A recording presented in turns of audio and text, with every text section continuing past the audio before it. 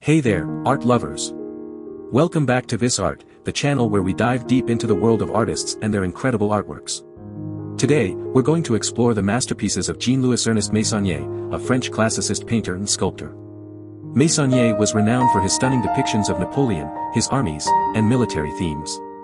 His attention to detail and meticulous craftsmanship earned him great success during his lifetime. Let's start with An Undergrowth. In this painting, Meissonier captures the beauty of nature with intricate brushstrokes, transporting us to a serene forest setting. Next up, we have Antibes. This artwork showcases Meissonier's ability to capture the essence of a place.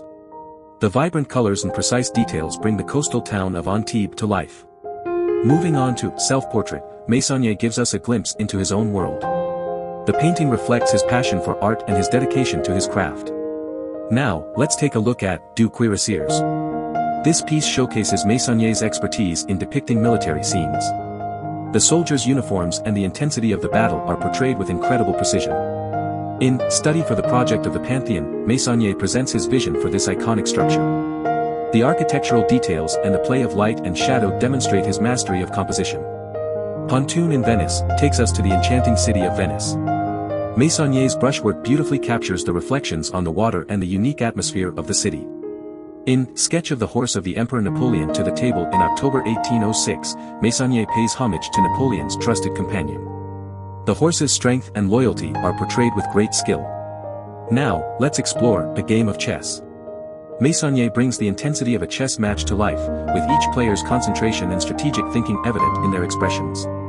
Advance Guard of an Army showcases Meissonier's ability to capture the grandeur of military formations. The soldiers' disciplined march and the vastness of the landscape create a powerful image. The Sign Painter is a detailed masterpiece that showcases Meissonier's ability to capture everyday life.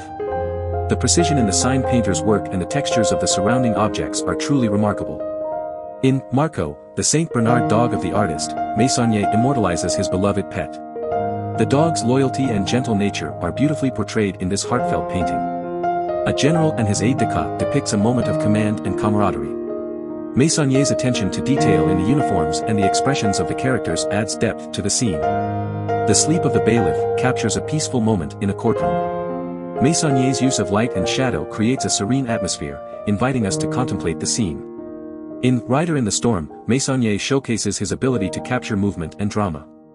The rider's determination and the stormy weather create a sense of urgency. Lastly, we have A Man in Black Smoking a Pipe. This painting captures a moment of quiet contemplation. Meissonier's attention to the man's facial expression and the smoke from the pipe adds a touch of mystery. And there you have it, a glimpse into the incredible artworks of Jean-Louis Ernest Meissonier. Stay tuned for more artist spotlights on Vis Art. Thanks for watching.